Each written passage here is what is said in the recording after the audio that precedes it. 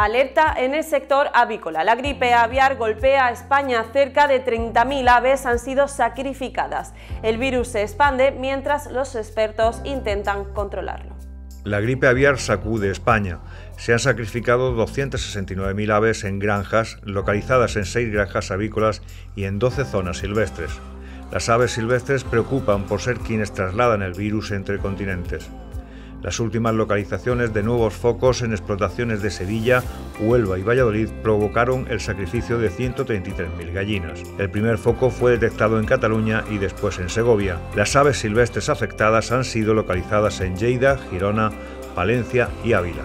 Los granjeros deben de hacer un seguro para, que se les cubran los gastos, porque las indemnizaciones, a ser empresas principalmente son en integración la recibe la propia integradora y no el ganadero. Es importantísimo la higiene para evitar esa propagación y tan importante como la higiene, pues también se hace muy muy importante el que no haya animales salvajes en las instalaciones de animales de, de producción. El virus de la gripe aviar se detectó por primera vez en gansos de China en 1996, llegando a los humanos en 1997. Desde entonces los brotes se han sucedido en África, Asia, Europa y Oriente Medio.